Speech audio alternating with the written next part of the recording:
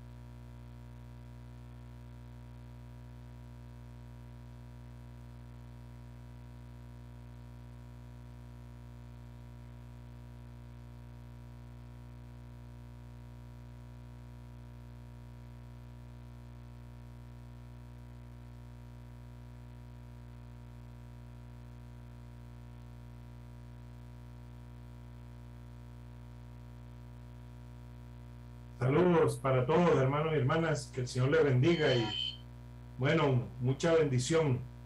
Mucha bendición hoy, el día de Chabá, en medio de la comunidad donde asisto y le damos las gracias al Señor porque Él es bueno y nos permite pues reunirnos como un solo pueblo.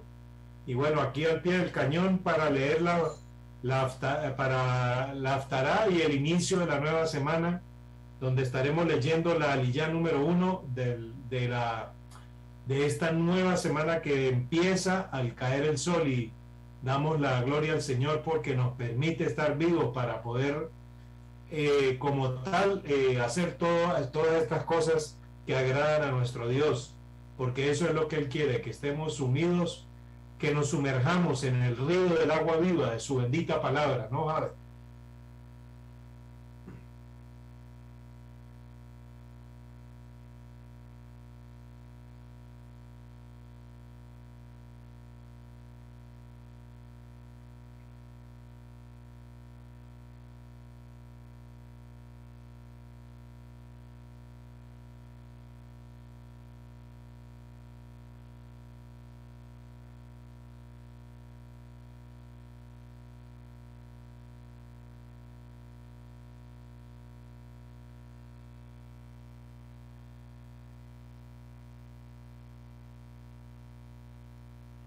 me imagino que tienen la lista de los que llevaron Biblia y los que no, ¿no?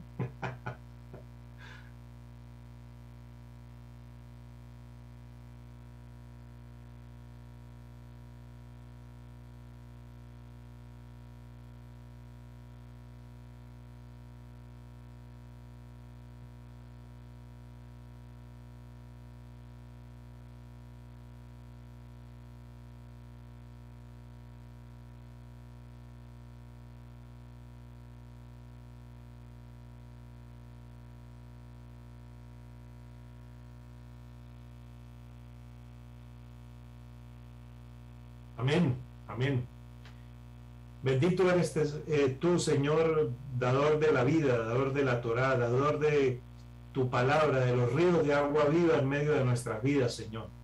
Derrama tu poder sanador y libertador en esta tarde, en la medida, Señor, que se vaya enseñando tu bendita palabra, en, la, medida que nuestro hermano Alfredo Joseph Bención, Señor, quien tiene la responsabilidad en esta tarde de enseñar de llevarnos y sumergirnos en medio de, a través de la lectura, de las escrituras de los profetas. Bendito Dios de la gloria, yo te pido que lo uses y que, Señor bendito, todo aquel que escuche, todo aquel que vea, Señor, sea alcanzado, sea tocado tu misericordia, tu bondad y tu gracia, así como has tocado nuestra vida en medio de cada uno de nosotros, mi Señor bendito. Gracias te damos, Rey y Señor Omnipotente, por este día tan hermoso de Chabá que hemos tenido. Ten misericordia, Señor, de cada uno de nosotros. Ten misericordia de todo tu pueblo.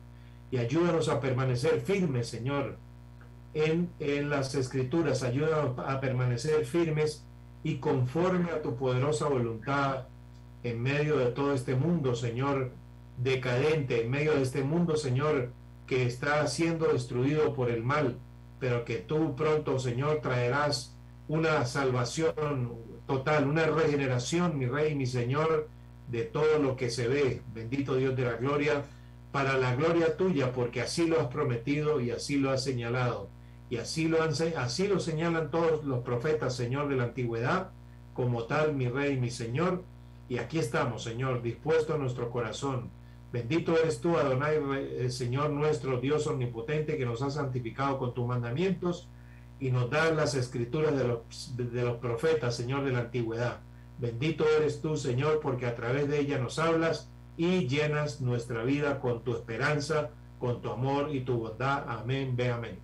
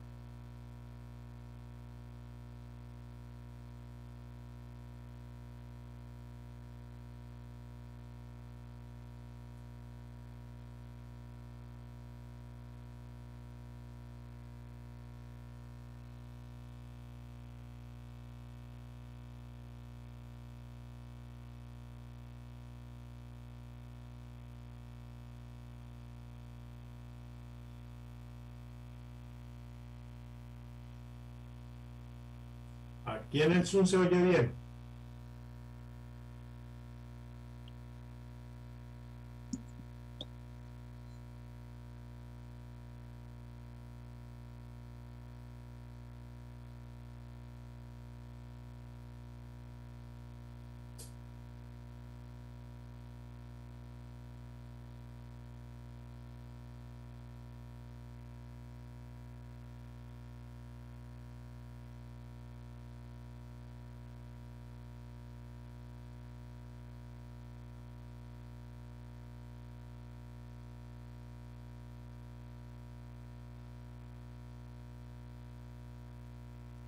No se oye. No, En Facebook no. Nada. Se escucha como un micrófono apagado con...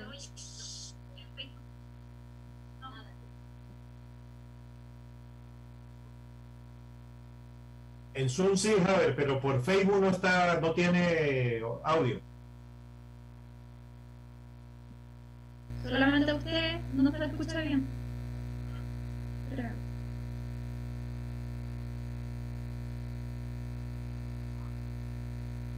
Sí. Correcto.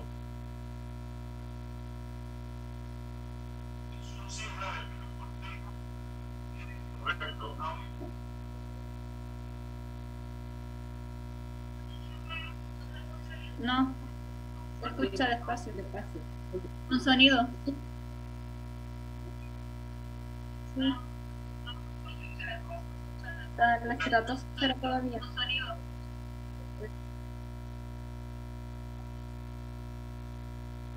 Sí.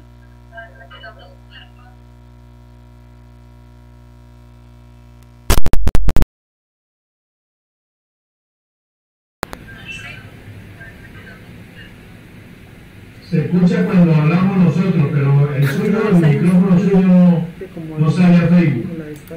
Sí, no sé por qué no se oye. ¿Tienes activada la cámara?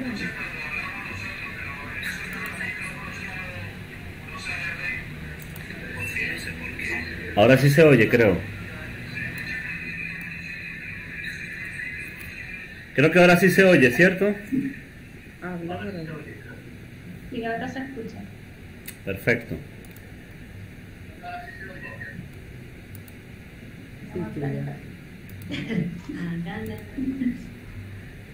Bueno, creo que ahora sí corregimos el, el, error, no sé por qué no se oía.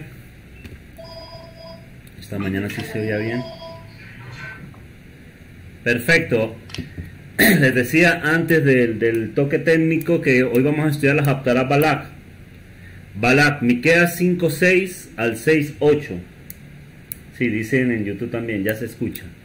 Miqueas 5.6 al 6.8 eh, del libro del profeta Miqueas. Pero para efectos del estudio vamos a estudiar casi que prácticamente todo el libro de Miqueas. Entonces, por favor, ubiquémonos allí en el libro del profeta Miqueas.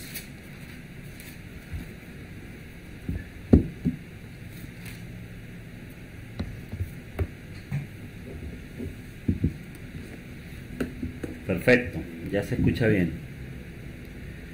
Bueno, recordemos que el profeta Miqueas, como dato, ¿verdad? Para tener allí, es contemporáneo y paralelo con los profetas, Oseas e Isaías. Específicamente con estos dos profetas, él fue contemporáneo, ¿sí? tanto con el profeta Oseas como con el profeta Isaías. Vamos un momento al libro del profeta Miqueas capítulo 1 versículo 1. Dice palabra de Hashem que vino a Miqueas eh, de Moretzet en días de Jotán, Acaz y Ezequías Fíjense que incluso el profeta, eh, el profeta Isaías también habló acerca eh, contra el profeta, eh, contra el rey Ezequías, quien eran, eran reyes de Judá. Dice, lo que vio sobre Samaria y Jerusalén. Fíjense que esta profecía, como podemos ver, está dirigida hacia Samaria y Jerusalén. ¿Quiénes eran Samaria y Jerusalén? Podría ser la pregunta. ¿O eran las capitales de quién? Samaria y Jerusalén. De las tribus del norte y las tribus del sur. Perfecto, Carlitos, así es. Bueno, vamos a ubicarnos en ese contexto entonces. Entonces el profeta Miqueas, su nombre en hebreo es Mija, como, como, como una derivación también del nombre Mijael o Miguel, traducen allí en, en, eh, castellanizado, ¿no? Pero Mija es el nombre como tal de este profeta y significa quien como Hashem, estamos leyendo en Miqueas capítulo 1, no en el 5 todavía, en el 1, ¿sí? en el 1.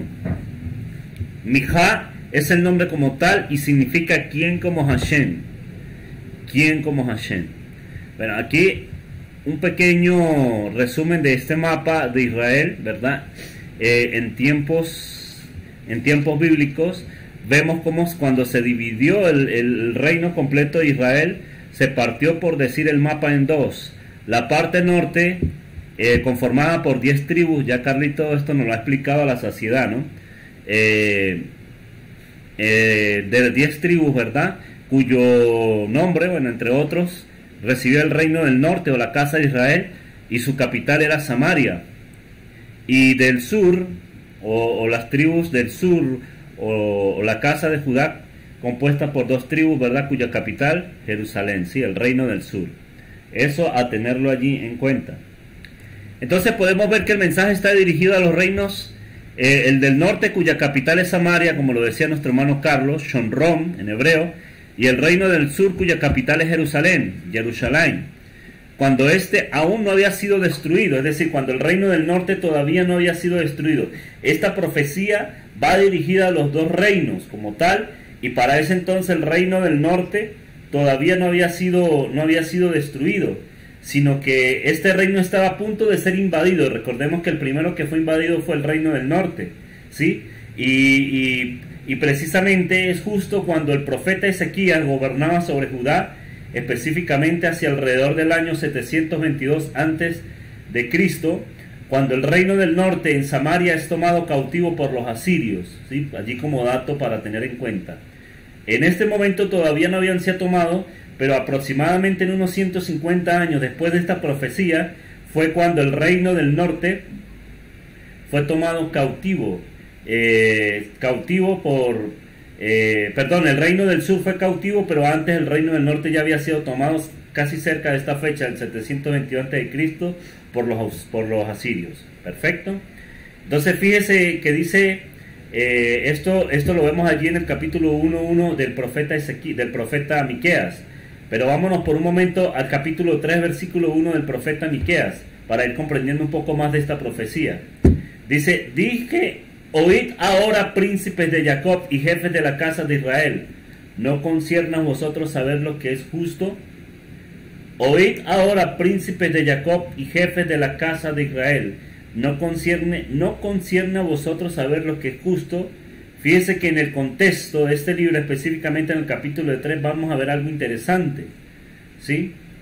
Primero, en este verso 1, al mencionar a Jacob, se refiere a la casa de Judá. O sea, aquí se está, está hablando a, los, a, los, a los exaltados, digámoslo de alguna manera, a los principales de la casa de, de, Jacob. Dice allí, se está haciendo una referencia a la casa de Judá o el reino del sur, como ya lo dijimos anteriormente.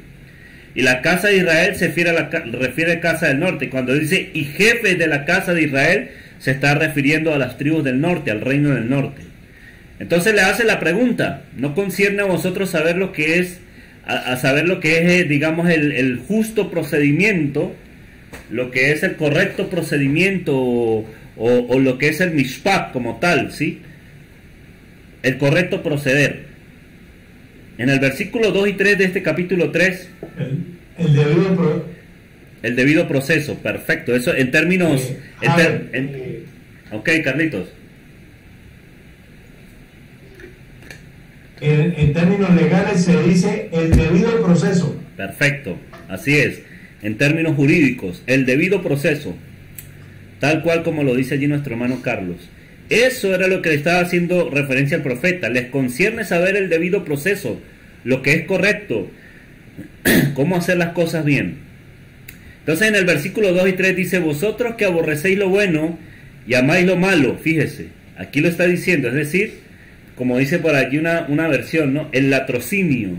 hacer totalmente en contra de lo que está escrito en el mandamiento, o ir en contra de la constitución, por decirlo de alguna manera. Ellos aborrecían lo bueno y amaban lo malo. Yo hago la pregunta, ¿será que se parece en poco o en mucho a lo que está pasando hoy en día? Que hay gente que a lo malo llama bueno, ¿sí? Y a lo bueno llama malo. Hoy en día hacer lo malo delante del Señor es la norma y prácticamente lo defienden a capa y a espada. ¿Por qué? Porque cuando se les predica la escritura van en contra de ella porque precisamente les confronta que sus obras están siendo malas. Por eso Yeshua decía, los hombres amaron más las tinieblas que la luz. ¿Por qué? Porque la luz expone sus obras. Cuando alguien está haciendo lo malo, o el mundo o este sistema apoya lo que es malo, apoya lo que va en contra de la escritura, ya nos llaman a nosotros legalistas, nos llaman fanáticos religiosos. Y pare usted de contar precisamente para apoyar que lo que ellos hacen es lo bueno o la regla. Cuando aquí dice, aborrecieron lo bueno y amaron lo malo. Estamos hablando aquí de tanto las dos casas, la del sur y la del norte. Dice, y fíjese este, esta expresión, les quitáis su piel y su carne sobre los huesos. Qué expresión tan, tan interesante y vamos a ver cómo se desarrolla este tema, ¿no? Quitáis su piel y su carne sobre los huesos, que coméis asimismo la carne, fíjate, de mi pueblo, y vamos a ver qué significa eso de comer la carne de mi pueblo, y les desolláis su piel de sobre ellos, y los quebrantáis, aunque la expresión correcta ahí es los descoyuntas, no quebrar de partir, ¿no? Como cuando usted parte una galleta o cuando usted parte un hueso de pollo que lo quiebra por la mitad. Aquí estaba hablando era de descoyuntar, Carlitos.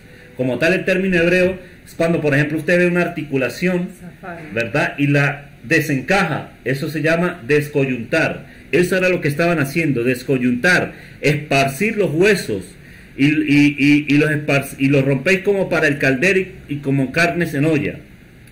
Entonces fíjense que ahí está utilizando dos términos muy interesantes. Esos términos del cual el Señor les está exhortando y les está, digamos, llamando la atención tanto a los príncipes de Judá como de Israel, a las dos casas, es que ambos estaban comiendo la carne de su pueblo y estaban, estaban descoyuntando sus huesos. Entonces hay dos términos allí muy importantes, que es la carne y los huesos. La palabra carne, como tal, en hebreo, es la palabra sher, sher, y la palabra hueso es la palabra etzen, ¿verdad? Esas dos palabras son las que conforman tanto carne como hueso, sher y etzen. Entonces debemos ver a qué se está refiriendo esta denuncia y qué quiere dar a entender con la carne y el hueso del pueblo. Ya vamos para allá, vamos a ir poco a poco, lo importante es que vayan tomando nota allí. Dos términos importantes en la profecía. El profeta Miqueas declara la maldad para ir, para ir este, acomodando el conocimiento. Declara la maldad, eh, dice nuestro hermano, nuestro hermano Miguel. Aquí estamos por YouTube ya que Facebook me censura. sí, bueno, bienvenido hermano Miguel. Entonces, para ir acomodando el conocimiento, tenemos por los momentos que eh, el Señor envía al profeta Miqueas para hablar tanto a los jefes de la casa del norte como la casa del sur, que estaban haciendo lo malo delante del Señor y llamándolo como bueno, y que estaban comiendo la carne y descoyuntando los huesos de su pueblo. ¿sí? Entonces tenemos que hay dos términos, carne, que es el, el, término share y, la, y, el hueso, cuyo término es etzen, ¿sí? para referirse a lo que estaban haciendo en contra del pueblo estos gobernantes, por decirlo de alguna manera. Dice, cuando regresamos a Génesis, ¿verdad? A la creación, y aquí vamos a ver algo muy interesante. Vamos un momento al capítulo 2, yo le voy a pedir a alguno de mis hermanos, de los que están aquí en Zoom, que me lea Génesis capítulo 2, versículo 21 al 23. Entonces fíjese este mandamiento, cuando regresamos a la creación de Adán, él recibió una profecía respecto de su mujer. ¿Por qué decimos que recibió una profecía? Porque cuando el Señor le habla a Adán en este capítulo 2, versículo 21 al 23 de Génesis, muchos, incluso yo hasta hace poco lo creía y lo veía así, ¿no? Muchos pensamos que está hablando de la creación de la mujer. Pero si usted analiza allí el capítulo 1, ya se había dicho acerca de la creación de la mujer. Ya la mujer había sido creada. Entonces, ¿de qué está hablando aquí este capítulo 21, eh, capítulo 2 del 21 al 23? Es lo que vamos a ver. Por favor, alguien que me lo pueda leer. Yo. Por favor, Rachel. Entonces Hashem Elohim hizo caer el sueño profundo sobre Adán, y mientras éste dormía tomó una de sus costillas y se cerró la carne en su lugar. Y de la costilla que Hashem Elohim tomó del hombre hizo una mujer y la trajo al hombre. Dijo entonces a Adán, esto es ahora hueso de mis huesos y carne de mi carne. Esta será llamada, llamada varona, porque del varón fue tomado. Vamos a ver varios, varias cositas allí a tocar. Primero, primero, vamos un momento, este texto no lo tomé aquí, pero vamos un momento al capítulo 1 y que alguien me lo pueda leer. Capítulo 1 de Génesis en el versículo 27. Alguien que me lea Génesis 1.27, por favor. Y creó, y creó Dios. Por favor, Carlitos. Y, cre, y creó Dios a este Adán. Haré, eh, y creó Dios a este Adán. Y haremos el resplandor de Dios lo creó, varón y hembra los creó. Fíjense que allí está hablando ya de la creación de la mujer como tal si vamos a, a este texto, ¿no? Ahora bien, fíjense que aquí en este, en este capítulo 2, versículo 21 al 23, eh, está claramente dando una profecía como tal. Este, este capítulo, este versículo 21 y 23 de Génesis 2, más que hablar de la creación de la mujer, está hablando de una profecía, porque aquí ya la mujer había sido creada. El Señor hace caer en un sueño a Adán y le muestra algo que ha de venir, y eso es lo que vamos a examinar. ¿Por qué? Porque no está hablando de la creación de la mujer eh, eh, propiamente dicho. Aquí se está claramente dando una profecía a Adán en visión, por eso lo hizo caer en sueño profundo. Ya que la mujer ya había sido creada, esta visión se está refiriendo a Israel. ¿Por qué? Porque Israel representa a esa mujer que está siendo edificada del costado. ¿El costado de quién? De Mashiach.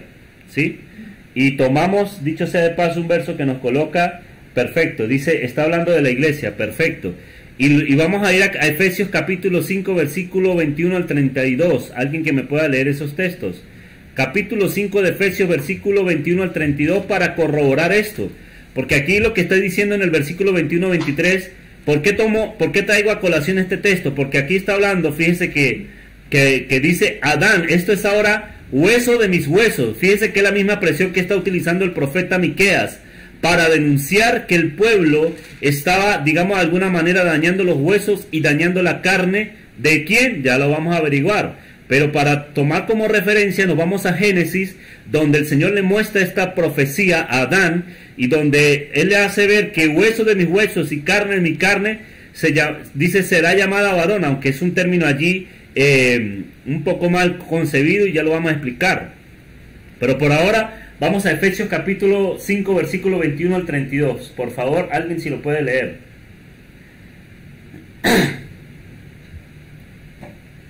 Amén.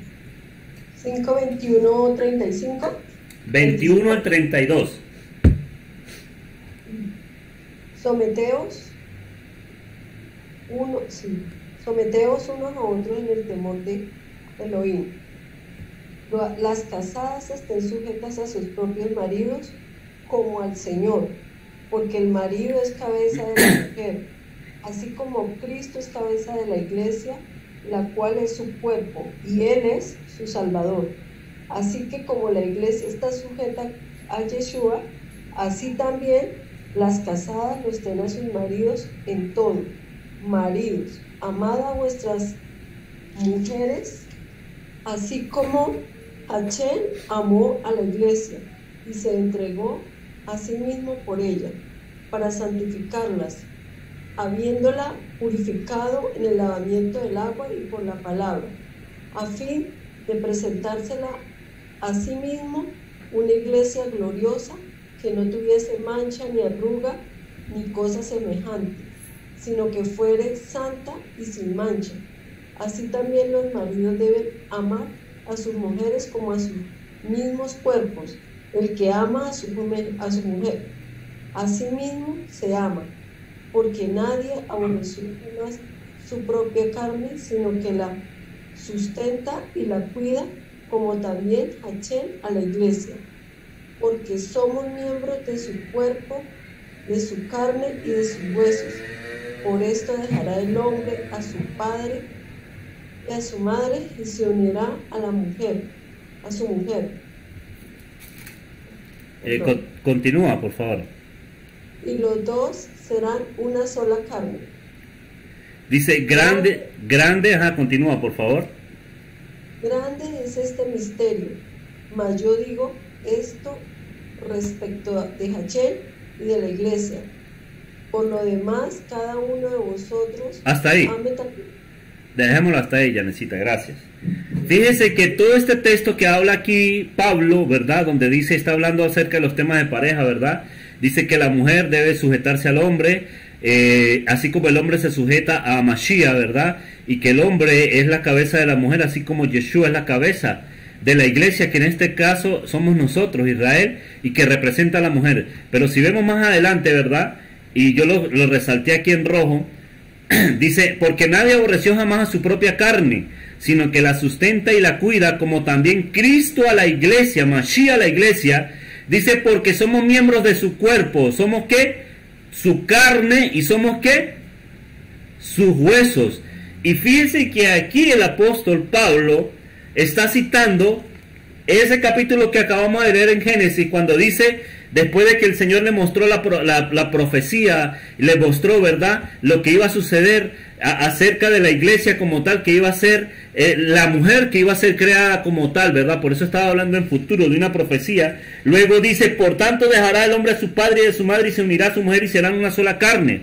Ese texto lo está, citando aquí Pablo, aquí mismo en este capítulo 5 de Efesios. Dice, por esto dejará el hombre a su padre y a su madre y se unirá a su mujer y los dos serán una sola carne. ¿Qué está diciendo Pablo aquí? Está haciendo la comparación como tal del hombre y la mujer, pero más a profundidad y hablando del capítulo 2 de Génesis, está diciendo que el hombre es la representación de Yeshua, del cual fue tomada la iglesia, que en este caso somos nosotros, en este, del hombre que fue, digámoslo de alguna manera, lo que está diciendo en esa visión, como si fuese tomada la mujer de allí, ¿verdad? Había sido creada la iglesia, carne de su carne y hueso de su hueso. Por eso lo resalto allí en rojo, porque somos miembros de su cuerpo, somos su carne y somos sus huesos como tal.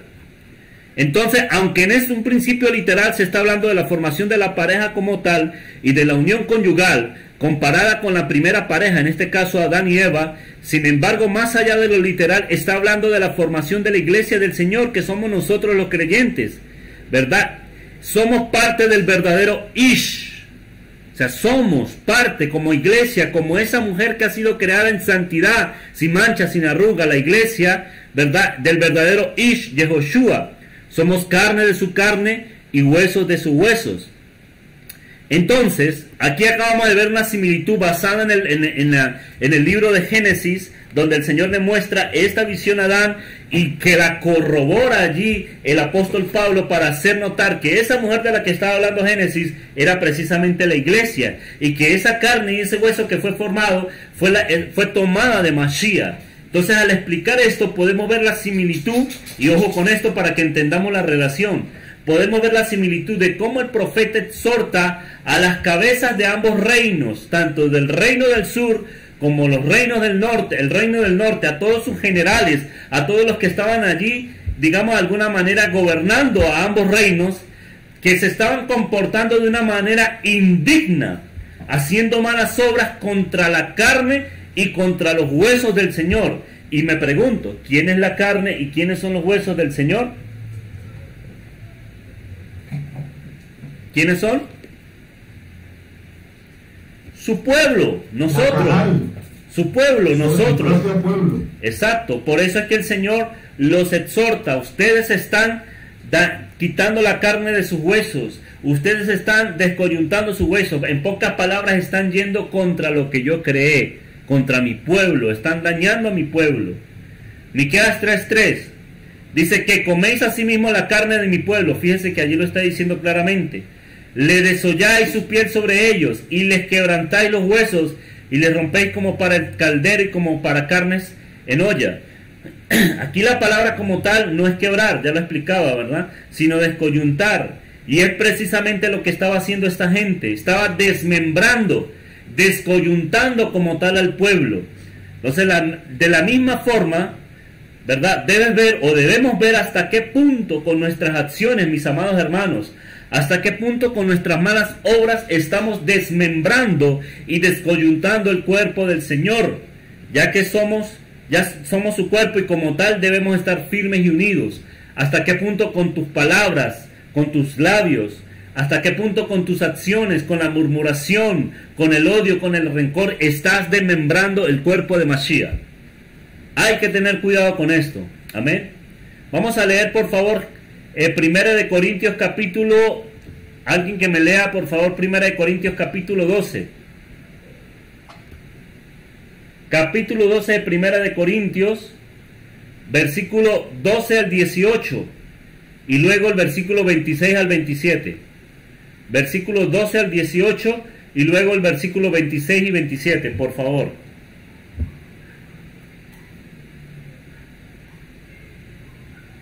¿Ese mismo que está ahí? Sí, señorita. ¿La? Ah. Dice, eh, pues que así como el cuerpo es uno y tiene muchos miembros, pero todos los miembros del cuerpo, siendo muchos, son un solo cuerpo, así también Mashiach, porque por un solo espíritu fuimos todos bautizados en un cuerpo, sean judíos o griegos, sean esclavos o libres, y a todos se nos dio a beber el mismo espíritu. Además, el cuerpo no es un solo miembro, sino que muchos. Si dijera el pie, que no soy mano, no soy del cuerpo, ¿y por qué no será del cuerpo? Y si dijera la oreja, ¿por qué no soy ojo? No soy del cuerpo, ¿por qué esto será del cuerpo? Eh, ¿Y si dijera la oreja? si dijera la oreja, ¿por qué no soy ojo?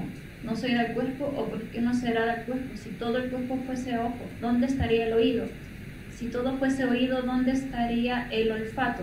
Más ahora, Elohim ha colocado los miembros cada uno de ellos en el cuerpo como Él quiso, de manera que si un miembro padece, todos los miembros se duelen con Él, y si un miembro recibe honra, todos los miembros con Él se gozan.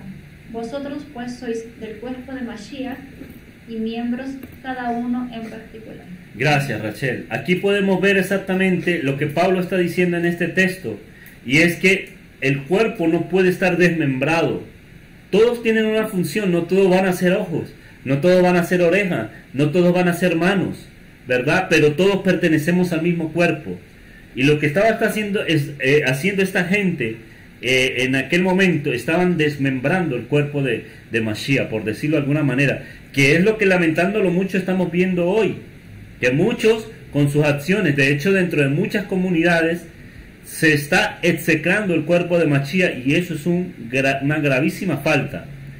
Vamos a leer el capítulo 3, versículo 5 de Miqueas. Dice, así ha dicho Hashem acerca de los profetas que hacen errar a mi pueblo. Fíjese, esto también era desmembrar al cuerpo de Mashiach. Lo que vemos hoy en día, muchos profetas, entre comillas, que hacen errar al pueblo, que lo llevan tras cosas que no, que no están conforme a la escritura, tal vez tradiciones, tal vez inventos de hombres que no van conforme a la escritura, y que incluso los llevan a apartarse verdaderamente de la esencia de la escritura, acerca de los profetas que hacen errar a mi pueblo y claman, paz, fíjese, paz, cuando tienen algo que comer y al que no les da de comer proclaman guerra contra él, es decir, cuando les hacen sus necesidades le dicen, hay paz, pero cuando no les hacen sus necesidades o no van o no les dicen lo que quieren oír, le llaman guerra contra él. Fíjese qué tremendo la comparación como hoy en día está sucediendo lo mismo, ¿verdad? Cuando usted le lleva, eh, digamos, la, decimos aquí, cuando le llevamos la cuerda, entonces ahí sí están en paz con nosotros. Pero cuando le llevamos la contraria y hacemos las cosas como son, entonces se vienen en contra de nosotros, estos supuestos profetas. Entonces, por tanto, de la profecía se les hará noche y oscuridad al adivinar, es decir, ahí se van a confundir y sobre los profetas se pondrá el sol y el día se entenebrecerá sobre ellos y serán avergonzados los profetas y se confundirán los adivinos y todos ellos cerrarán sus labios porque no hay respuesta de Dios, es decir, allí no habrá revelación del Altísimo. Mas yo estoy lleno del poder del, mas yo estoy lleno del Rúa, del poder de Hashem y de juicio y de fuerza para denunciar a Jacob su rebelión y a Israel su pecado. Este debe ser el verdadero carácter de un hombre de Dios, de una mujer de Hashem, como lo hacía en este caso el profeta, que llamaban el pecado por su nombre, que no empezaba a encubrir el pecado simplemente para hacer oír a la gente lo que quiere oír, porque muchas veces la gente quiere que uno le diga lo que ellos quieren oír. Muchas veces incluso dentro de las mismas comunidades se molestan porque hablamos lo que es conforme a la escritura y ya tal vez se van de las comunidades o no le hablan más a uno, pero aquí el profeta lo está diciendo, o sea, el Señor me ha llenado de su presencia, de su poder, de, de, su rúa, ¿verdad? De su poder para denunciar cuando las cosas se están haciendo mal, cuando las cosas están tomando un rumbo que no se debe. Y era lo que estaba haciendo aquí el profeta, para denunciar a Jacob su rebelión y Israel su pecado. Y es lo que tiene que hacer un genuino hombre de Dios. Hablar, obviamente, con amor, pero también con autoridad y decir cuando las cosas están mal, cuando las cosas no están tomando un, rumbo correcto, se, alineado a la escritura, hay que hablarlo. No podemos callar, mis amados hermanos. No podemos callar. Entonces, fíjense, aquí cuando se habla de la carne, como tal, aunque ya sabemos que la carne y hueso también es una representación en su conjunto de Mashiach como tal, de la congregación, de la congregación como tal. Sin embargo, la carne también hace una referencia a los mandamientos. Ya vamos a explicar por qué. Y el hueso específicamente hace una referencia a la paz. Fíjense, cuando se come la carne, es decir, cuando quebrantan el mandamiento, cuando quebrantan el debido proceso, se deja expuesta la paz. Es como si usted quitara la carne de, este, de, de, de sobre el hueso. ¿Qué se queda? El puro hueso. Y al quedar el puro hueso, ¿qué pasa? ¿Qué pasaría? Se llena de infección, se muere. Por eso es que usted ve que hay personas que tal vez tienen accidentes y les queda el hueso expuesto, tiende a ser más, a llenarse de infecciones. ¿Por qué? Porque no está quien protege al hueso, que es la carne. ¿Qué es lo que está diciendo? ¿Qué es lo que vamos a, en un sentido simbólico, hablar? Que cuando el mandamiento se quebranta, no puede haber paz si más o menos me hago entender? Cuando el mandamiento que representa la carne se quebranta, no puede haber paz. Por eso es que usted ve naciones hoy en día, hoy día, usted ve naciones que están convulsionadas. ¿Por qué? Porque sus gobernantes están haciendo lo malo delante de los ojos de Dios. Y no puede haber paz en una nación que, que, que, se quebranta la justicia, que se quebranta lo correcto, que se quebranta el debido proceso. Si comienza de las cabezas de ahí para abajo, todo va a estar mal no va a haber paz, no puede haber paz. ¿sí? Por eso es que a veces cuando nosotros pedimos paz, obviamente pedimos paz, haya paz sobre Israel en todas las naciones de la tierra, pero sobre una nación como tal, mientras no caminen en el debido proceso, no va a haber paz, mis amados hermanos. Amén. Y eso es lo que está hablando aquí el profeta. En el versículo 9 al 12 del capítulo 3 dice, ahora oí esto, jefes de la casa de Jacob y capitanes de la casa de Israel. Está hablando a los dos reinos que abominas el juicio, es decir, hacer el debido proceso, y perviertes todo el derecho, que edificas a con sangre y a Jerusalén con injusticia. Sus jefes juzgan con por cohecho, es decir, que aquí se venden por soborno. Parecido hoy a la realidad, que, la, la, justicia está totalmente corrompida, que cuando hay, mire, de esto, ahí se olvidan de la justicia, ¿sí o no? Dice, sus sacerdotes enseñan por precio, Vuelvo y pregunto, ¿parecido hoy a la realidad? ¿Será que hay sacerdotes, entre comillas, que hoy en día enseñan por precio?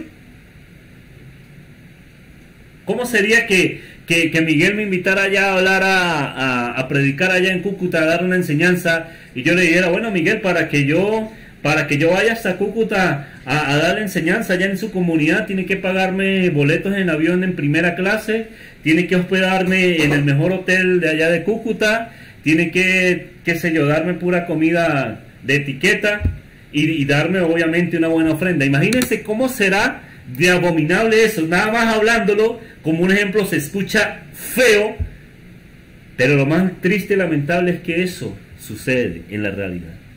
Eso sucede en la realidad como tal. ¿Sí o no? Que gente enseña por precio que hay gente que decide enseñar por precio, gente que decide enseñar por precio, mis amados hermanos. da de gracia lo que de gracia has recibido. Y esto era lo que estaban haciendo estos jefes. Estaban juzgando por cohecho, sacerdotes que enseñan por precio. Dice, oramos por la paz de Jerusalén, la paz es Mashiach para que le conozcan. Perfecto, así es, hermano Miguel. Total razón. Entonces aquí dice que estos sacerdotes y estos jefes estaban totalmente torcidos. Sus profetas adivinan por dinero. Eso también se ve hoy dentro de las comunidades. Invitan a un profeta para que les diga el futuro a la gente. Prácticamente eso es adivinación. Y lo más tremendo es que a la gente le encanta eso. Que, le, que, que les digan lo que ellos quieren escuchar. Pero qué tremendo si llega un profeta y empieza a hablar desde el pecado, de arrepentimiento, que se vuelvan a la palabra. No, este hombre está grave, no lo vuelvan a invitar. Pues yo creo que a mí más nunca me invitarían. no me invitaría. Dice... Que no se salten el cuarto mandamiento. Lo que decía Carlos, yo creo que se les borra el cuarto mandamiento allí. Entonces, ¿sí o no, Carlito? O sea, esto es una muestra de lo que pasa hoy en la realidad gente que se vende por soborno, eh, maestros, entre comillas, que deciden hablar por precio, que si usted no me paga una buena tajada, yo no voy a enseñar en su comunidad. Gente que, que, adivinan, profetas que, imagínese eso, y yo lo vi, hermano, lo digo con toda propiedad porque yo lo vi, profetas, entre comillas, que llegaban a una comunidad a decirle a la gente lo que ellos querían oír para que les dieran una buena ofrenda. Lamentándolo mucho, eso pasa. ¿Sí?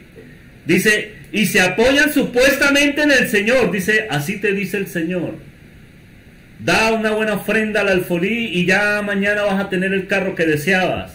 Mañana vas a tener, eh, eh, mañana vas a tener, la empresa tuya va a prosperar y vas a ser muy próspero. Te veo en grandes posiciones. Mire, casi que me sé el, repertorio de memoria, como lo decían. Y, y, lo más tremendo es que dicen, así te dice el Señor. ¡Wow! Wow, sí, sí, sí, sí, sí. Total, total, total, total. Es, esto es grave, mis amados hermanos.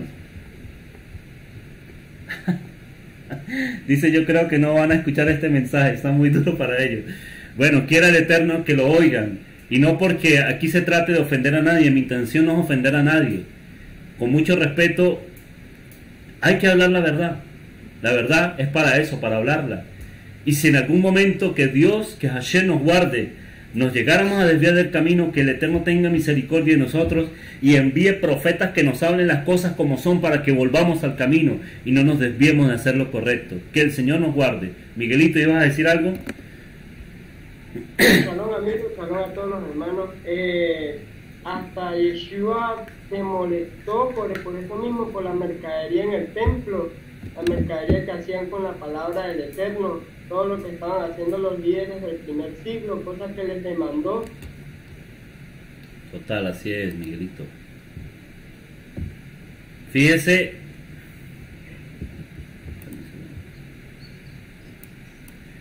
es importante esto, mis amados hermanos. Fíjense, dice que se apoyan en Hashem diciendo, no está Hashem entre nosotros. Es decir, esto que estamos hablando es de parte de Hashem. No vendrá el mal sobre nosotros. Mire, es que yo no sé, ¿no? El Señor me mete a veces, Carlitos, me lleva alguno a, decir cosas, pero es necesario hablarlas. ¿Cuánta gente, Carlos, desmiéntame si yo estoy hablando mentiras? ¿Cuánta gente en Venezuela, y sabemos lamentándolo mucho la situación que ha atravesado Venezuela, cuánta gente en los púlpitos, en las comunidades empezaron a hablar paz sobre Venezuela? ¿Sí? Aquí no va a venir más, aquí no va a venir lo malo, aquí todo está bien, empezaron a profetizar prosperidad, empezaron a profetizar no sé qué tantas cosas y creo que hasta el día de hoy se han quedado con los crespos hechos. ¿Por qué? Porque no estaban hablando conforme a la palabra del Eterno, porque era necesario que, que todo esto estuviese aconteciendo debido al pecado, debido a tanta maldad que se ha visto, no solamente en Venezuela, eso se está viendo en muchas naciones. Y eso va, y muchas naciones van a tener que ser procesadas debido a la maldad que hay, a la idolatría, a la inmundicia que se está suscitando en las naciones. Entonces estos profetas decían, no va a haber mal, no va a haber mal. Dice, por tanto a causa de vosotros, Sión será alada como campo. Aquí un profeta verdadero le está diciendo, ustedes que dicen que no va a haber mal, pues yo les digo, claro que va a haber mal, claro que va a haber proceso, claro que va a haber un, un proceso fuerte sobre esta nación. ¿Por qué? Porque muchos no han querido buscar el rostro de Hashem para que vean, para que vean y sientan que hay Dios en Israel, que Él lo que dice lo cumple, que su palabra es firme para siempre. Por tanto, a causa de vosotros, Sión será arada como campo, y Jerusalén vendrá a ser monte de ruinas, y el monte de la casa como cumbres de bosque. Y eso fue lo que aconteció, mis amados hermanos. Así es, como estaban hablando contra Corán la rebelión. Así es, total. Miqueas 5.2 dice, pero tú, aquí ya vamos a entrar ahora sí a la, la paracha como tal. Esto que leímos fue, fue una introducción, Carlitos. ahora sí, vamos a entrar en la, en la haftará. mucho chuco, hermano, mucho chuco. Yo creo que, bueno, yo creo que voy a hacerle compañía al hermano Miguel porque, al hermano Miguel Enrique, porque yo creo que me, me van a, a, ¿cómo se dice? A Censurar. a censurar. Bueno, que nos censuren por hablar la verdad. Bien lo dijo Mashiach. Gozados y alegrados. Gócense y alegrense. Amén. Dice en capítulo 5, versículo 2: Pero tú, Belén Efrata, pequeña para estar entre las familias de Judá, de ti me saldrá el que será Señor en Israel, y sus salidas son desde el principio, desde los días de la eternidad. Vamos a ver cómo lo dice eh, específicamente este texto. Así es, hay muchos que sirven al Dios de su imaginación, un Dios irreal conforme a sus propios corazones y no conforme a la escritura, así es, totalmente cierto. Bueno, este texto, versículo 5, capítulo 5, versículo 2 de Miqueas, específicamente eh, nos está hablando de la ciudad como tal. Aquí no nos está hablando de la ciudad como tal, sino más bien de aquel que viene sobre la ciudad, es decir, sobre Mashiach. El texto exacto de este versículo 2 de, de Miqueas 5 dice, pero tú, Beit Lehem, que significa casa de pan, pequeño entre los maestros de Judá, entre los maestros de Judá, ¿sí? porque tal vez así veían a nuestro Mashiach como el más pequeño entre los maestros de Judá, ¿sí? pero dice, de ti saldrá para mí el Moshel en Israel, y sus salidas son desde el Keden, es decir, desde el principio, desde la eternidad, desde lo que es antes de todas las cosas, Leolam, por tiempo escondido, por, por siempre. Y Moshel es aquel que es un maestro, que aquel compositor de parábolas. Entonces en el versículo 3 y 4 dice, pero los dejará hasta el tiempo que dé a luz la que ha de dar a luz. Y el resto de sus hermanos, dice, el resto de sus hermanos volverá, se volverá conocido de Israel. Y él estará y apacentará con poder de Hashem y con grandeza del nombre de Adonai su Dios. Y morarán seguros porque ahora será engrandecido hasta los fines de la tierra. Hasta los fines de la tierra.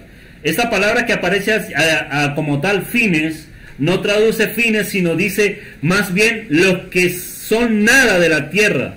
Y tal vez haciendo una referencia a los gentiles, a los que siguen a dioses, a los dioses, a dioses obviamente paganos, dioses falsos, a los gentiles. Eso que dice hasta los que son nada en la tierra. ¿Por qué? Porque hace una alusión a aquellos que no, no tienen nada, parte, ninguna parte en el Mashiach. Amén. Versículo 6 al 7. Y devastará la tierra de Asiria a espada y con sus espadas la tierra de Nimrod y nos, y nos librará del asirio cuando viniere nuestra tierra y hollare nuestros confines. Y fíjense lo que dice el versículo, el versículo 7. Dice, el remanente, fíjense este, esta, esta, esta, fra- esta expresión, Carlitos. El remanente de Jacob. Está hablando del versículo 7.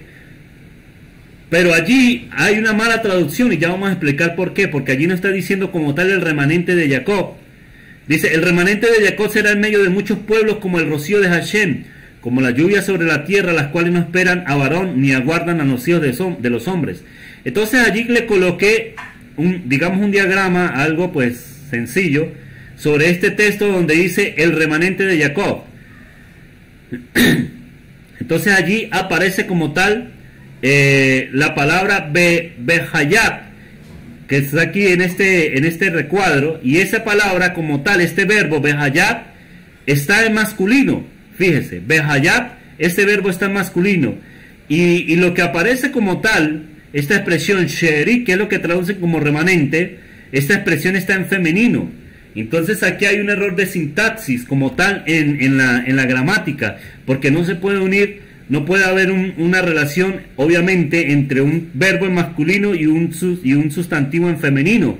Tiene que concordar el género como tal. Entonces debido a las reglas de sintaxis no es posible unir estas dos expresiones. Tanto eh, eh como sheir, sherit. Entonces, ¿cuál sería la traducción más idónea, obviamente hablando del sujeto, que en este caso es Jacob, debido a las reglas se diría una traducción más correcta, dirá, y será Jacob un remanente. Aquí no está hablando de que el remanente de Jacob, está diciendo que Jacob será un remanente en medio de los pueblos, sería la traducción más correcta de esa, de esa versión del versículo 7. Ahora bien, ¿qué importancia tiene eso? Mucha. ¿Por qué? Porque si la palabra sherit que aparece allí como remanente, Sherit tiene relación con la palabra Sher, que es carne, como ya lo habíamos explicado. Entonces Jacob aquí no está hablando como tal del, del, hombre, no está hablando como tal de la tribu, no está hablando específicamente este capítulo 5, no está hablando de Jacob como la tribu, sino que Jacob en este caso está haciendo una alusión proféticamente a Mashiach, no a la tribu como tal. Este Jacob del que está hablando volverá a instruir al pueblo. Es lo que está diciendo aquí. Dice, él será un remanente. Jacob será un remanente en medio de muchos pueblos, como el rocío de Hashem. Fíjense que habla primero de un rocío. Como las lluvias sobre la hierba, las cuales no esperan a nadie, sino que de una vez mojan al que ha de mojar, ¿sí? Entonces, esto como tal, ¿verdad? Es una referencia a Mashiach ya que es Mashiach quien instruye al pueblo, quien lo nutre de la carne, de los mandamientos, y que volverá a revestir a su pueblo de la instrucción. Vamos a leer el versículo 14 en el capítulo 13 de Romanos, si alguien me puede colaborar allí. Sino, sino vestidos del Señor Yeshua, y no proveáis para los deseos de la carne Claro, lo que está hablando exactamente allí es que Jacob será un remanente, ¿verdad? En medio de los pueblos. ¿Y quién es ese remanente? Ese Mashiach se está replicando en medio de su pueblo. Por eso Él nos reviste de su carne y nos reviste de sus huesos. Él nos está volviendo la instrucción como tal. ¿Por qué? Porque aquellos, digamos que estaban desmembrando el pueblo, lo estaban sacando, como pasa hoy en día, de la instrucción verdadera. ¿Qué es lo que está haciendo Mashiach? Volver a reunir ese remanente. Está haciendo que Jacob, ¿verdad? Jacob, perdón, está haciendo que haya un remanente, es decir, que su cuerpo, que su carne, que sus huesos vuelvan a ser nutridos, vuelvan a haber carne, vuelva a haber huesos, hablándolo simbólicamente. Y, esto también tiene que ver, Carlitos, con la profecía de Ezequiel 37, cuando dice que vio que los huesos se llenaban de carne. Está diciendo que el remanente que se está levantando está volviendo la instrucción está volviendo a los mandamientos, está volviendo a ser compacto, uno solo, un pueblo como tal, y no como hicieron aquellos generales, aquellos jefes en los, tiempos cuando Miqueas habló que desmembraron, que los apartaron del mandamiento, que los apartaron de la instrucción, que no, que no dijeron las cosas como son, no dijeron las cosas como son. Hoy en día, por eso nosotros debemos apegarnos a la escritura, a hablar lo que es, porque en la medida que nosotros hablemos lo que es, estamos dando la instrucción de Mashiach.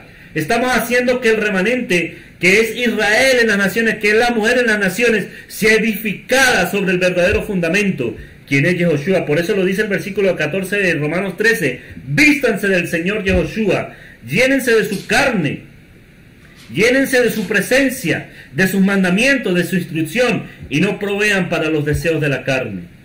Versículo 7. Yo no, sé, si tú tienes allí el contemplado Jeremías 6:16. No, si quieres léelo, por favor, amado hermano. Y dice en el libro del profeta Jeremías, en el capítulo 6, versículo 16. Así dice el Señor: Deténganse en los caminos y miren Pregunten por los senderos antiguos, pregunten por el buen camino y no se aparten de él. Así hallarán descanso anhelado, pero ellos dijeron, no lo seguiremos. Ahí cuando habla del buen, del buen camino es las sendas antiguas. Volver a la Torá. Es correcto. Total, así es, Carlitos. Eso es lo que está haciendo Mashiach en medio de las naciones. Está formando su remanente, su pueblo que le ama, que vuelve a los mandamientos. Dice el versículo 7, el remanente de Jacob será en medio de muchos pueblos, como el rocío de Hashem, como las lluvias, ¿verdad? Bueno, aquí dice realmente, Jacob será un remanente en medio de muchos pueblos, como el rocío de Jacob, como las lluvias sobre la hierba, las cuales no esperan a varón ni aguardan al rocío de los hombres. Entonces, aquí hay un hecho muy curioso, porque primero habla de un rocío y luego de un aguacero como tal, de lluvias. Esto es una implicación a las dos venidas de Mashiach, ¿sí? de Yeshua. Luego la traducción dice como tal que él, es decir, Jacob, en referencia a Mashiach, no hará espera del hombre, ¿sí? como dice que la lluvia, ¿verdad? Que la lluvia sobre la hierba, las cuales no esperan a hombre, no harán espera del hombre, así como cuando llueve no espera si el hombre se resguarda o no, o sea, usted está en la calle, si llueve y no tiene donde resguardar, pues se moja, lo toma por sorpresas. Dice, así de la misma manera será la segunda venida de Yehoshua, que no dará espera, sino que a muchos tomará por sorpresa, y más aquellos que no quisieron venir a él. Entonces allí toman un texto que dice que como ladrón en la noche, así será la venida del hombre. Ladrón en la noche para aquellos que andan en la oscuridad, pero para nosotros que andamos en luz y que seguimos sus mandamientos, no nos ha de tomar por sorpresa la venida de Yeshua. Así será como un aguacero que no espera al hombre, de la misma manera la venida de Yeshua vendrá sobre aquellos que no quisieron oír, sobre aquellos que no quisieron apegarse al derecho, sobre aquellos que no quisieron apegarse a la justicia, a los mandamientos. Y de esta manera será la segunda venida de Yeshua, como lluvia sobre la hierba, las cuales no esperan a nadie. Amén. Esto está hablando del segundo regreso de nuestro Adón. Versículo 9 en el capítulo 5 de Miqueas. Tu mano se alzará sobre tus enemigos y todos tus adversarios serán destruidos. Fíjese, aquí estás hablando claramente de Yeshua. Por eso este capítulo 5 no está hablando como tal, no está hablando como tal acerca de la tribu del sur de Jacob, aunque pareciera, no está hablando como tal del remanente del sur de Jacob. Jacob aquí es una referencia a Mashiach.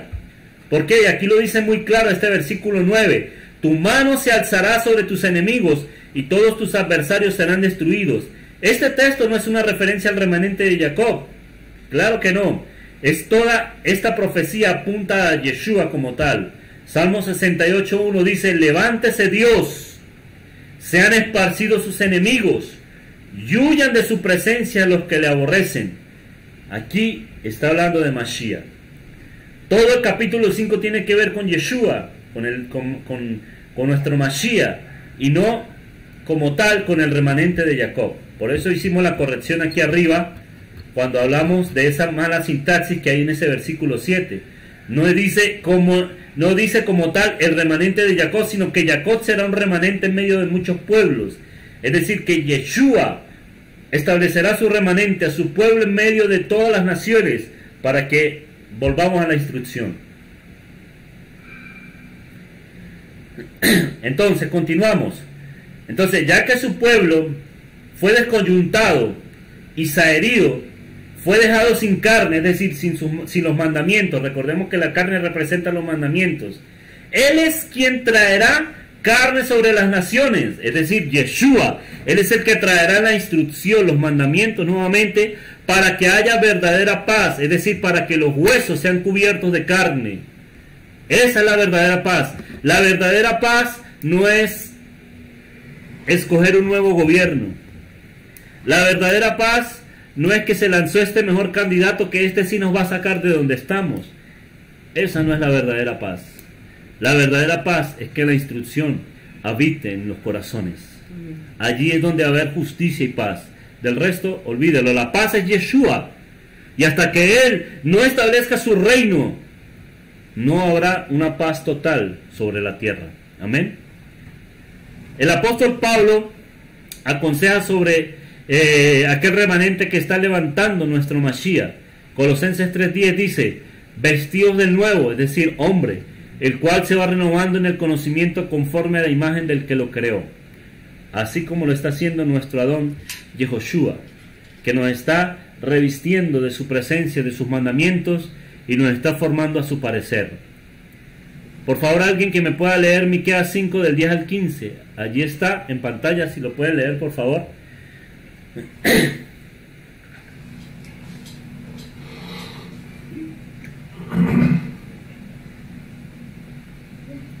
Rachel.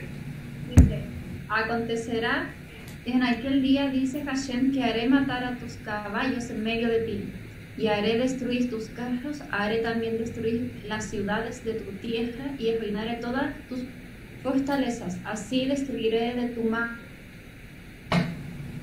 las hechicerías, y no se hallarán en ti agoreros, y haré destruir tus esculturas y tus imágenes en medio de ti, y nunca más te inclinarás a la obra de tus manos. Arrancaré tus imágenes de acera del medio de ti destruiré tus ciudades y con ira, nariz, entre paréntesis, y con furor, eh, con la reacción del calor, y haré venganza en las naciones que no obedecieron. gracias, Rachel. Más adelante dice, en el capítulo 6, ya para ir cerrando la Haftarah, oíd ahora lo que dice Hashem, allí me comí la corrección. Levántate, contiende contra los montes, y oigan los collados tu voz, oíd montes, fuertes cimientos de la tierra, el pleito de Hashem, porque Hashem tiene pleito con su pueblo y altercará con Israel, pueblo mío. ¿Qué te he hecho o en qué te he molestado? Responde contra mí, porque yo te hice subir de la tierra de Egipto, y de la casa de la servidumbre te redimí, y envié delante de ti a Moisés, a Jarón y a Miriam. Pueblo mío, acuérdate ahora que a, qué aconsejó Balak. Fíjese que aquí por eso tiene la relación con la con la paracha de esta mañana. Pueblo mío, acuérdate ahora qué aconsejó Balak, rey de Moab, y qué le respondió Balán, hijo de Beor, desde Sitín hasta Gilgal, para que conozcas las justicias de Hashem. La justicia de Hashem, mis amados hermanos, se está refiriendo a la Torah. Eso es lo que está creando Mashiach. La, la instrucción nuevamente para que aprendamos la justicia de Hashem se está refiriendo a la Torah, a la profecía como tal que nos encamina a la verdad del Altísimo. Y cierra este estudio diciendo en Miqueas 6 del 6 al 8, ¿con qué me presentaré o con qué me adelantaré ante Hashem y adoraré al Dios Altísimo, al Dios en las alturas? Me adelantaré ante Él con holocaustos, me anticiparé ante Él con holocaustos, con becerros de un año. ¿Se agradará el Señor de millares de carneros o diez mil arroyos de aceite? ¿Daré mi primogénito por mi rebelión o el fruto de mis entrañas por el, pecado, por el pecado de mi pescuezo? Oh hombre, Él te ha declarado lo que es bueno. El Señor te declara lo que es bueno. ¿Y qué pide, y qué Hashem de ti? ¿Qué es lo que pide el Señor de ti? Que hagas justicia, es decir, el mishpat, el debido proceso. Que ames misericordia y que te hagas pequeño ante tu Dios, es decir, que andes con modestia delante del Señor, que te humilles ante tu Dios. Esto, mis amados hermanos, es lo que Hashem pide de nosotros en todo momento, que practiquemos mishpat, el debido proceso, que hagamos lo que está escrito, que obremos conforme a su voluntad, no conforme a nuestra imaginación, como lo escribió allí nuestro hermano Miguel en, YouTube, no conforme a nuestra imaginación, sino a lo que está escrito, a su palabra. El mishpah como tal, el mandamiento, el debido proceso es la carne. Y en la carne reposa sobre el hueso, que es la paz. Y la paz es Mashiach mismo. Si quebrantamos el mishpah, el mandamiento, estamos separando la carne del hueso. Estamos dejando expuesta la paz, es decir, queda separado del pueblo de Dios. Efesios 2, 13 al 16. Pero ahora en Cristo Jesús, vosotros que en otro tiempo estabas lejos, habéis sido hechos cercanos por la sangre de Mashiach, porque Él es nuestra paz, que de ambos pueblos hizo uno, derribando la pared intermedia de separación, aboliendo en su carne las enemistades, la ley de los mandamientos expresados en ordenanzas para crear en sí mismo de los dos un solo y nuevo hombre, haciendo la paz y mediante la cruz reconciliar con el Eterno a ambos en un solo cuerpo, matando en ella las enemistades. Dice aquí, pero ahora en Cristo Jesús vosotros en otro tiempo estabas lejos, hace una referencia a la carne despegada del hueso, este versículo como tal. Vosotros que en otro tiempo estabas lejos, hace una referencia, ¿verdad? A que la carne está despegada del hueso, es decir, que estábamos apartados de sus mandamientos y por eso no había paz. Porque Él es nuestra paz, es decir, el hueso que sustenta la carne, Yeshua, es el que sustenta a su pueblo mediante sus mandamientos. Dice la ley de los mandamientos expresados en ordenanzas. Esto quiere decir dogmas, enseñanzas humanas que transgredían el mandamiento, porque muchas veces estos dogmas los toman como más importantes que la escritura, pero van en contra de la palabra. Eso fue lo que el Señor totalmente derribó. No tiene ningún fundamento bíblico. La Torah es nuestro lenguaje común, libre de todo dogma, libre de toda aquella suposición que no va conforme a la escritura. Entonces, eso es lo que el Señor nos dice y nos enseña en esta en esta Haftarah, que él ha creado, está creando un remanente para que obre conforme al debido proceso, para que no descoyunte a su pueblo, para que no quebrante el mandamiento y para que la verdadera paz, que es Yehoshua nuestro Señor, venga sobre su pueblo y establezca su voluntad en medio de nosotros. Así que, amados hermanos, no hacer como tal vez muchos hacen hoy en día, que por dinero hablan a la gente lo que ellos quieren oír, aunque eso signifique ir en contra de la escritura, que por tal vez por fama, por gloria, por vanagloria de los hombres, hablan a los demás lo que ellos quieren oír y no confrontan el pecado, no confrontan el, el que estén quebrantando el debido proceso, el mandamiento. Mientras se haga eso, se estará descoyuntando a Israel de su hueso, de su paz, que es Yehoshua, nuestro Mesías. Amén. Amén. Ahí está la referencia, mis amados hermanos.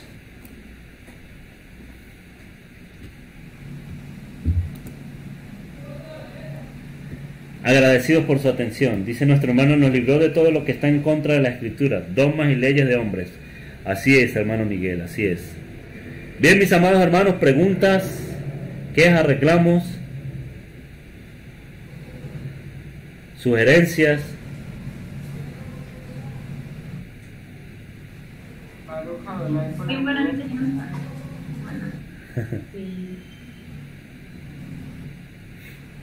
Así, a empezar la semana.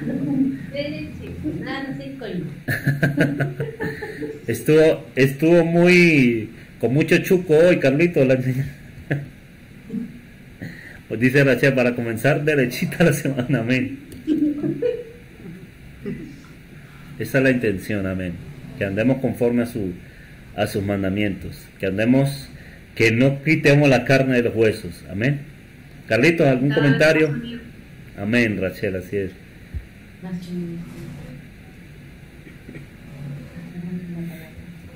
No, no, no me ayuda aquí la conexión a Javes. Ah, ok.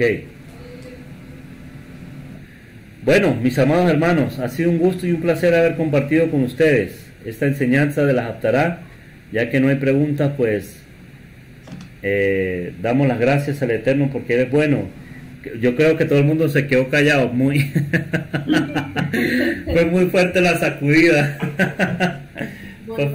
fue fuerte la sacudida esta tarde, pero es bueno, es bueno, mis amados hermanos. Créanme, mire, créanme, yo les soy sincero, ¿no? Cuando yo... Ajá, dime, Carlitos.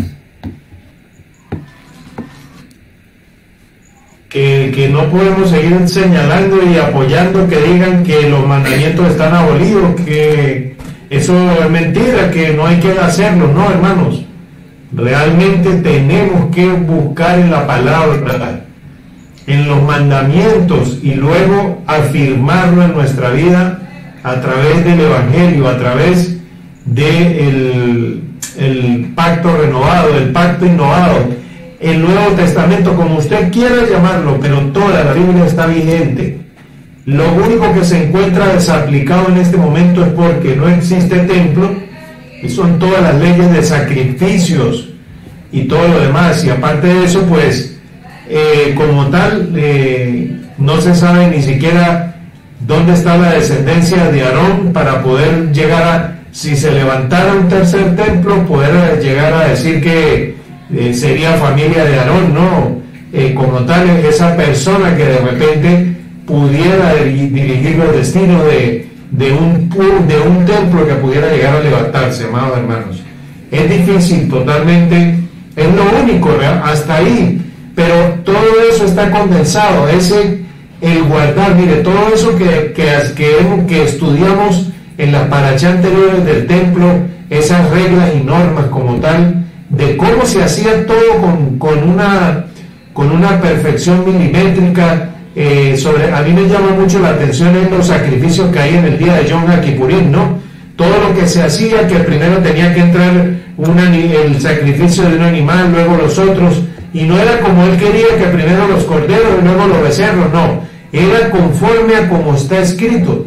Eso tenemos que llevarlo a nuestra vida y tenemos que caminar conforme a la voluntad del Dios Altísimo, conforme a como lo dicen los mandamientos. Aquí no, aquí no hay manera de uno decir, no, está bien, hágalo, hágalo que usted va bien, va por buen camino, no guarde el sábado, ¿para qué lo guarde? Eso es mentira. No, cuidado, cuidado con eso.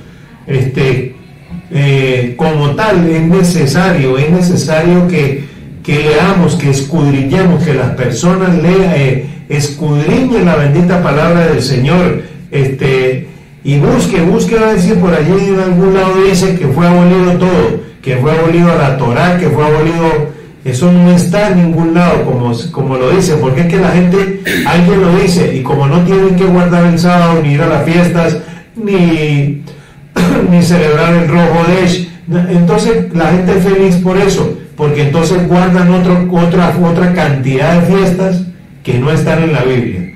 Y como siempre decimos, seguro que si las fiestas que celebra actualmente el mundo estuvieran en la Biblia, nadie las celebraba. Así de sencillo, amados hermanos. Si la Navidad fuera bíblica, nadie celebraría Navidad. Definitivamente.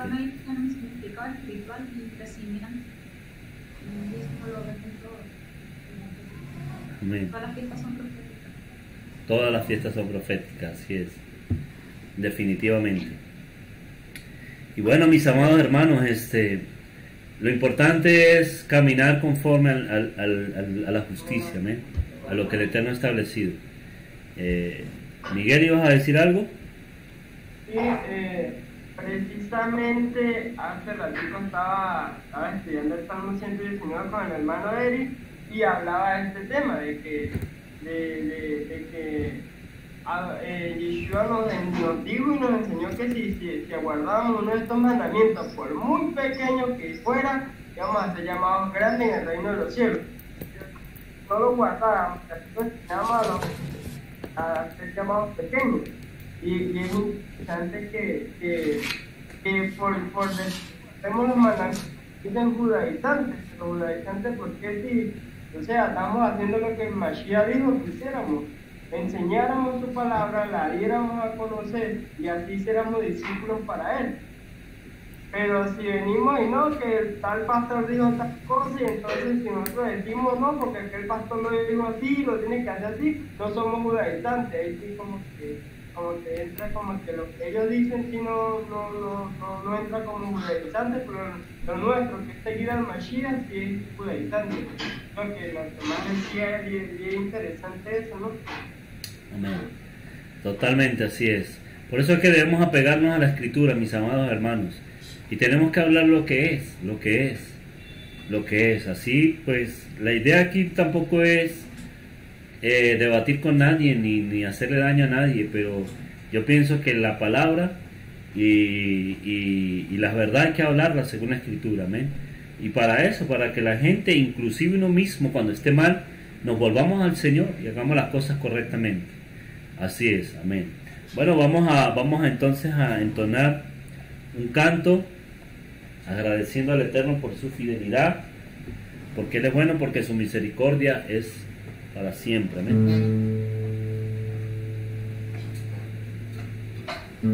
Agradecido a todos los que estuvieron conectados, tanto por YouTube como por Facebook, durante no solamente en las aptarás, sino también desde esta mañana en la oración matutina y durante el estudio de la parasha.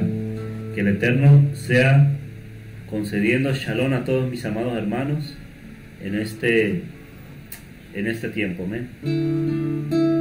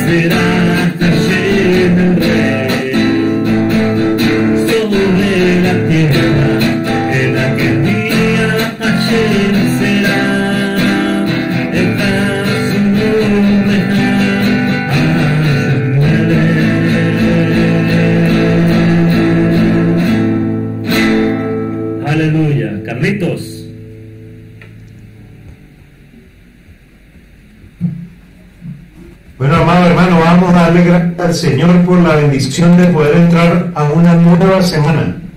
Amén. Y ya publicamos en este preciso instante está la para allá que comienza a, después de caer el sol, hermano, ya la, la acabo de colocar allí para que comiencen a leer. Aquí no podemos dejar, eh, aquí no podemos dejar respirar a la carne. Tenemos que como tal eh, doblegar, doblegar esos deseos eh, de la carne. Aquí necesitamos fortalecer nuestro espíritu. Allí está publicada, les invito a todos para que compartan en la página de Rey de Justicia, allí ah, la acabamos de colocar. La, la de la próxima eh, semana se llama allá Pinjas. Pinjas Ben Eleazar. Eh, vamos a estar estudiando de este personaje, qué hizo para detener el furor, eh, la, la, ira, más allá de la ira es eh, cuando la nariz se calienta, ¿no? Cuando la persona se molesta, eso, ¿qué hizo este para detener esa, ese furor de nuestro Creador en aquel momento, en aquellos días? cuando el pueblo de Israel seguía pecando, seguía haciéndolo. Entonces, hermanos, vamos a deleitarnos, a darle la gracia al Señor. No sea feo si eh, tiene el chofar ahí para tocarlo, ¿no? Claro, claro, vamos a orar para despedir el día de Chabay y hacemos sonar el chofar para leer la, la, la, la, Carlitos. Listo. eh, entonamos primero, entonamos primero el, el, el mandamiento más grande de todos, ¿no? Ok, vamos a entonarlo. Bueno, como cada inicio de Shabbat, vamos a, eh, como cada inicio de semana, dice en el libro de números 10.10, déjenme ya lo busco un momento hermanos, libro de números capítulo 10, versículo 10, eh, dice, y en el día de vuestra alegría, y en vuestras solemnidades, en los moedín, ¿no? En los convocatorias, mejor dicho. Y hoy es una convocatoria eh, de parte de nuestro Señor. Y en los principios de vuestros meses tocaréis las trompetas, el chofar, haréis, eh, eh, como tal se tocaba el tequía, habla el escrito original, ¿no? Sobre los sacrificios de paz y os serán por memoria delante de vuestro Dios, yo Hashem vuestro Dios.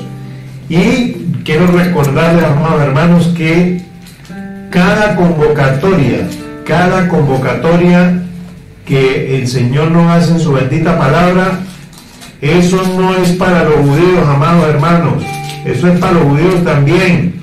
Pero miremos la bendita palabra, no hablemos con nuestras palabras, sino hablemos sencillamente en las convocaciones del Señor allí en el libro de Levítico, en el capítulo 23. ¿Para quién son las convocaciones que el Señor hace semana tras semana, cuando vienen las fiestas eh, más altas, las fiestas altas? Eh, allí en el capítulo 23 del libro de Levítico, en el versículo 1, eh, vamos a leer desde el 1, eh, el 1 y el 2. Habló Hashem a Moisés diciendo, habla a los hijos de Israel. ¿Quiénes son los hijos de Israel, amados hermanos? El que hace la voluntad del Dios omnipotente. Eso es lo que es un hijo de Israel. No el que, no el que está viviendo allá en el Medio Oriente en los actuales días, porque allá también, allá también pecan, allá también, eh, como tal, eh, suceden cosas eh, que no agradan al Dios omnipotente y lo leímos en la profecía. Eso no es de hoy ni eso, eso es así como, eh, como tal, porque el ser humano se ha apartado de Dios, nos hemos apartado de Dios y bendito el Señor porque está sonando el chofar y estamos siendo llamados, ¿no? Amén. Las fiestas solemnes de Hashem. Entonces aquí dicen que la fiesta solemne de los judíos, por ningún lado lo dice, las cuales proclamaréis como santas convocaciones serán estas. Y Papazaparo la primera que dice es, seis días trabajarás, mas en el séptimo descansarás. Ese es el cuarto mandamiento que se borra de la lista. Yo no sé por qué cuando, cuando, cuando lo leen, inmediatamente se, se, se borra, como que no aparece. Debe ser que hay Biblias alteradas, este, no, a ver. Total. Total, Javier, así es. Bueno, amados hermanos, entonces, Vamos a recitar el Shema y luego Amén. sonar el, el chofar. Dándole gracias al Eterno porque este día de Shabbat nos ha regalado en su misericordia el estudiar la escritura juntos como hermanos, reunidos. Y en esta semana que está iniciando sea una semana de paz para todo Israel. Que el Señor nos guarde de la muerte prematura, de todo mal y nos permita estar aferrados a sus mandamientos y vivir en su palabra. Y cumplir el gran mandamiento.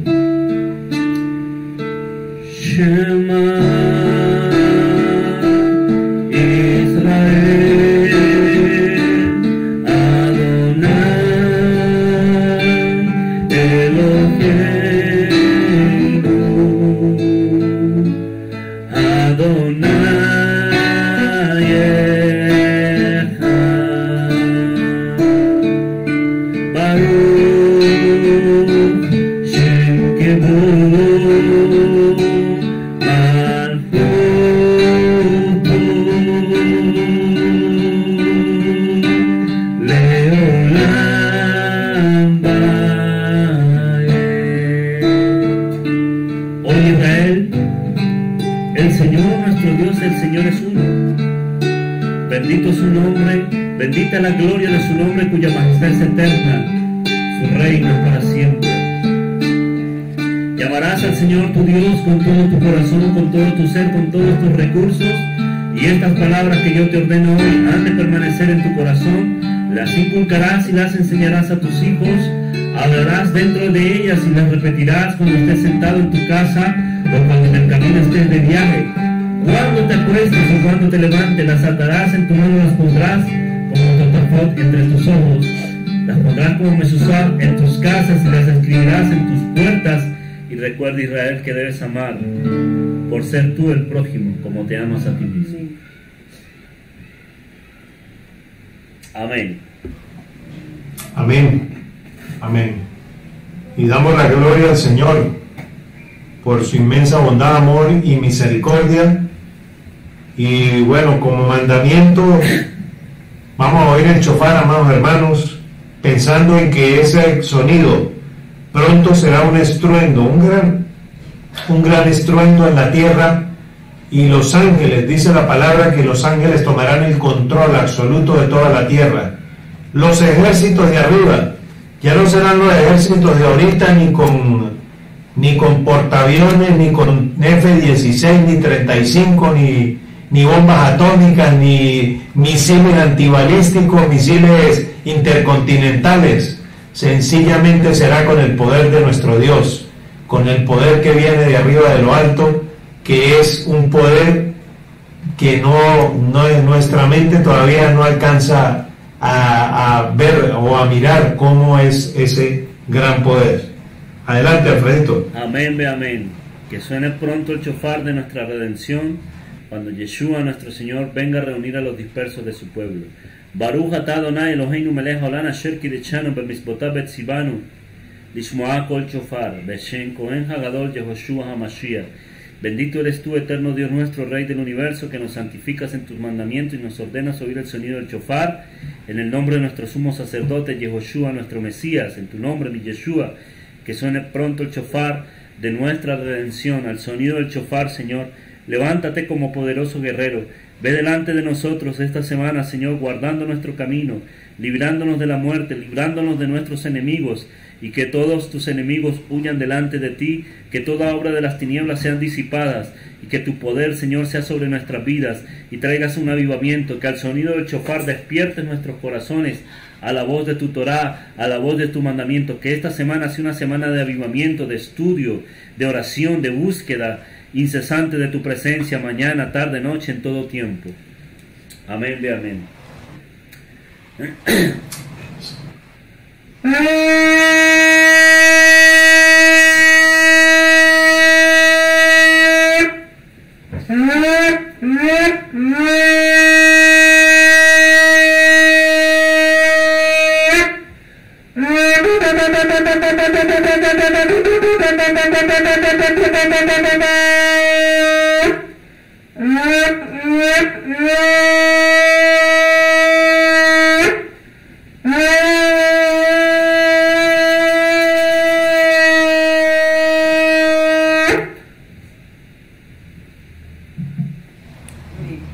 Amén.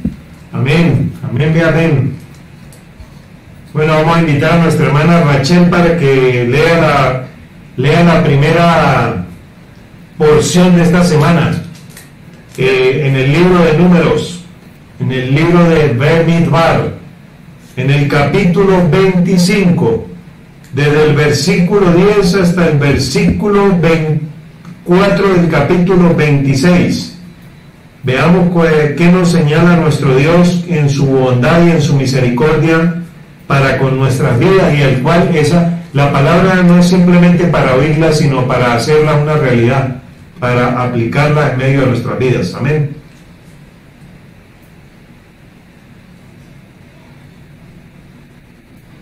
Capítulo 25.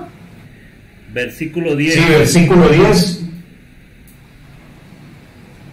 hasta el 26, 4. Dice, entonces Hashem habló a Moisés diciendo, Fines, hijo de Eleazar, hijo del sacerdote Aarón, ha hecho apartar mi furor de los hijos de Israel, llevando de celo entre ellos, lo cual yo me he consumido en mi celo a los hijos de Israel. Por tanto, diles, he aquí, yo establezco mi pacto de paz con él, y tendrá él y su descendencia después de él el pacto del sacerdocio perpetuo, pues cuanto tuvo celo por su Elohim e hizo expiación por los hijos de Israel. Y el nombre del varón que fue muerto con la Marianita era Sinri, hijo de Salú, jefe de una familia de la tribu de Simeón. Y el nombre de la mujer Marianita muerta era Cosbi, hija de Sur, príncipe de pueblos, padre de familia en Madian. Y Hashem habló a Moisés diciendo, hostigar a los madianitas y herirlos, por cuanto ellos os afligieron a vosotros, con sus ardides, con que os ha engañado en lo tocante a Baal Peor y en lo tocante a Cosbi, hija del príncipe de Madian, tu hermana, la cual fue muerta el día de la mortandad a causa de Baal Peor. Capítulo 26, censo del pueblo de Moab. Aconteció después de la mortandad que Hashem habló a Moisés y a Elías, hijo del sacerdote Aarón, diciendo, Tomad el censo de toda la congregación de los hijos de Israel, de veinte años hacia arriba, las casas de sus padres, todos los que puedan salir de la tierra de Israel. Y Moisés, el sacerdote de Eleazar, hablaron con ellos en los campos de Moab, junto al Jordán, frente a Jericó, diciendo, Contaréis el pueblo de veinte años arriba, como mandó Hashem a Moisés y a los hijos de Israel, y había salido de la Eres, de Egipto. Rubén primogénito de Hasta el 4. Hasta el 4. ¿Mm? Hasta ahí, Hasta el 4. hasta el 4. Amén. Bueno, amados hermanos, eh, el postre de esta nueva semana, vamos, ahora nos lo repartimos. Amén, amén, amén, amén, amén. Amén. Bueno, muy agradecido con todos mis amados hermanos por, por haber compartido con nosotros durante todo este día de estudio. Eh, esta semana, mañana temprano, allí comienza Carlitos con, con, con pie, como dice, con pie de, pie de guerra allí en la oración matutina, a las 5.30 minutos de la mañana. Y durante toda la semana orando en las mañanas y en las noches, estudiando mandamientos y el próximo Shabbat con la ayuda del Eterno, eh, estudiando la escritura. Amén. Vamos a, vamos a despedir la transmisión recordando eh, eh, la bendición ajarónica. Números capítulo capítulo 6 versículo 22 al 27.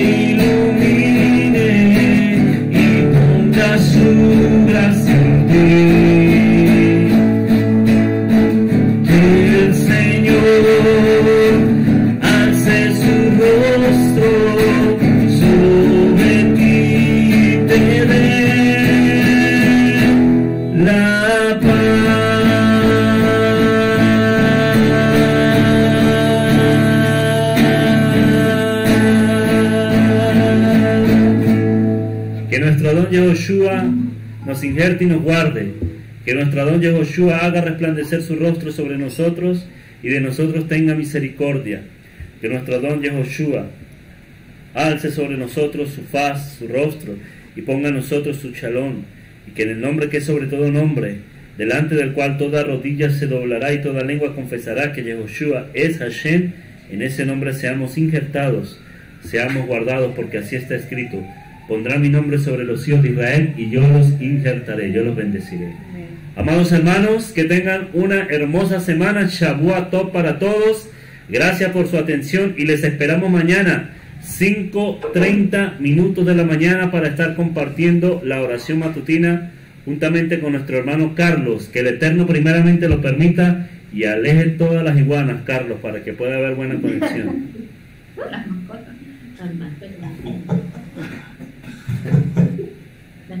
Para que pueda haber buena conexión, amén. Bendiciones a todos, gracias por su atención. Feliz semana. Buenas noches para todos. Buenas noches. para todos. Laila Top. La- la- la- Carlos, ya por ahí voy para allá a ayudarle a matar iguana.